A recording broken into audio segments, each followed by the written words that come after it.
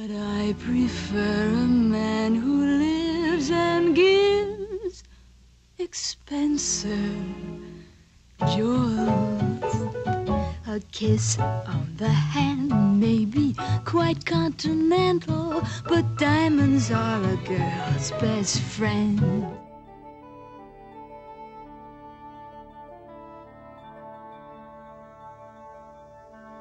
You have ravished my heart, my sister, my bride. You have ravished my heart with a glance of your eyes, with one jewel of your necklace. Someone of unsurpassed literary ability wrote this quote from the Song of Songs, a book of the Hebrew Bible 900 years before the Christ event. Other evidence that jewelry and love were associated in the ancient world is found in the House of Vettii, excavated at Pompeii from September 1894 to January 1896. Archaeologists assume the house, which was a luxurious residence, may have been looted shortly following the eruption of 79 AD because two signet rings were found outside its front door. They may have belonged to its owners, who were freed men pursuing power and status in the mobile society of the first century Roman world. On the house's walls, a detailed fresco depicts a goldsmith's workshop in which a group of Amorini or Cupids, whose very name means desire, are engaged in making jewelled ornaments intended to wound their victim's heart. Jewellers had a ready market at Pompeii where the elite in Roman society went for a holiday and to enjoy the company of friends. The level of business for jewellers was such that even very special gem cutters and engravers from Rome were drawn to make a living there. Emeralds were popular because they were found in nature, and there is a story that the Roman Emperor Nero used a large emerald to shade his eyes from the glare of the sun ancient society's idea of the perfect sunglasses. The jewellery girl was a Roman lady whose image was found on a mummy portrait painting at Hawara in Egypt. On the top of her bun is a pin set with pearls and garnets. The bun is gathered with a gold chain with a central medallion and decorated gold boxes at either side. Above these, a long pin is worn across the back of her head. She has four necklaces, the uppermost matching the pin in the bun with pale stones, perhaps aquamarine, in gold settings between small pearls and garnets.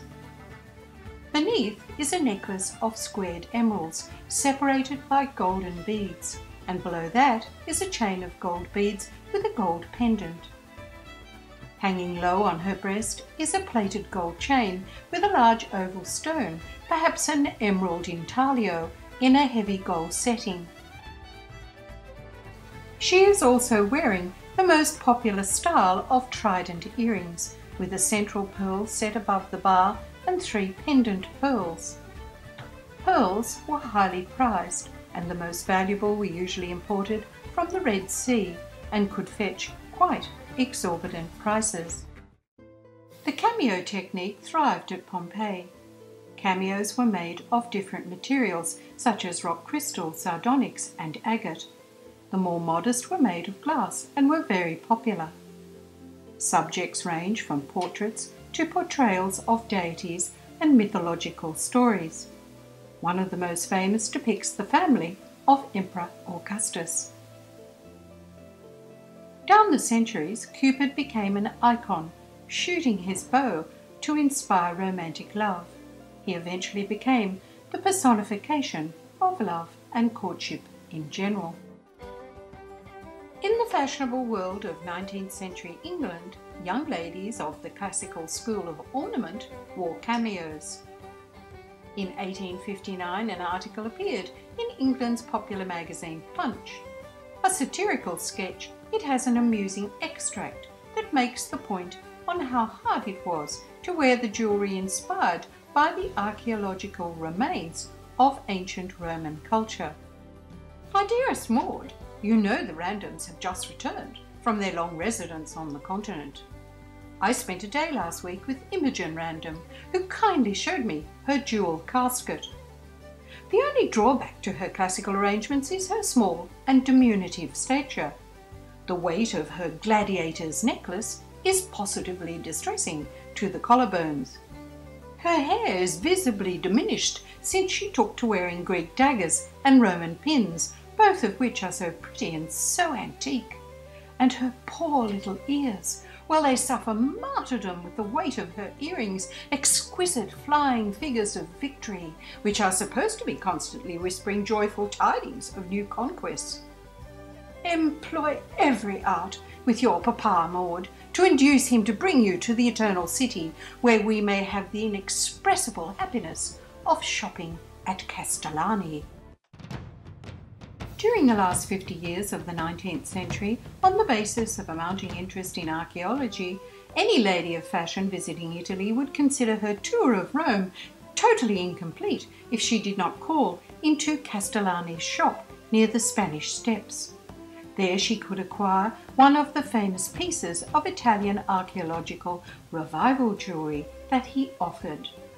Fortunato Pio Castellani, 1794 to 1865, pioneered the classical revival in jewellery. He trained many goldsmiths who produced outstanding works, none more brilliant than that of Carlo Giuliano, his pupil who opened a workshop at London in 1860, producing exquisite jewels that were an allegory of love. Talk to me, Harry Winston. Tell me all about it. By the 1920s, an androgynous yet sexy woman enjoyed avant garde jewellery. The ideal jewel complemented a particular dress or a particular woman.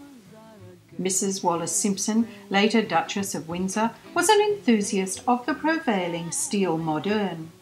The stunning jewellery fashioned for her by Van Cleef and Arpels, Belperron, Harry Winston, and Cartier, and given to her in love by her prince, king, or was it a duke? Inscribed, My Wallis, from her David, said it all. What more could any woman want than a man who'd give up being a king for love? When people today talk about jewels, jewellery, gemology, and gems, it is clear the vocabulary has become confused. Gemstones are treasured minerals found in the earth. Gems are the objects fashioned from them. Jewels are gems ready for mounting into jewellery and other objets d'art. And jewellery? Well, it's the finished product that, if its designer from Cupid to Cartier has succeeded, adorns its wearer well.